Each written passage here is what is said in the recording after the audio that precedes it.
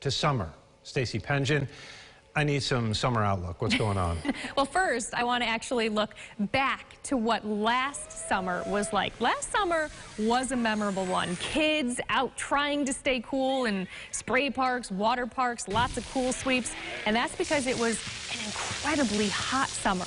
Take a look at some of the numbers on last year's weather. So, yes, it was a hot one. We had 22 days that were 90 or hotter. We had two heat waves in July. Now, a heat wave is classified as three days in a row or more where we hit 90 or hotter. We had two of those just in July, 11 days in July that were 90 or hotter, but it was also dry, and I think that helped to heat things up. We were about 3.8 inches below average rainfall during the summer months. Now we look ahead and to be perfectly honest, these outlooks are extremely difficult. There are a few things we can look to in terms of guidance. One of that is an El Nino, which we are in right now, which means warmer than average sea surface temperatures off the equatorial Pacific. It kind of jumbles up the jet stream a little bit. Some of the biggest questions are how strong will this be? Will it last into the entire summer? Another thing we're looking at is the uh, sea, the ocean water temperature off the Atlantic, or in the Atlantic, I should say. Right now, it's warm, and we think that may boost some moisture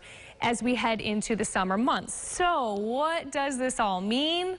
Well, this is what we're kind of shaking it down to. Temperatures slightly above average, but really kind of an average summer. Rainfall, we think a little bit wetter than average. With the moist air, we think we're not going to drop as low overnight. So some milder nights and how many 90s? Because everybody wants to know that.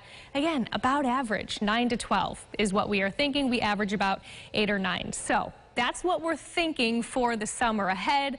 Obviously, a lot can change. Keep it here, and we'll give you the week-to-week forecast.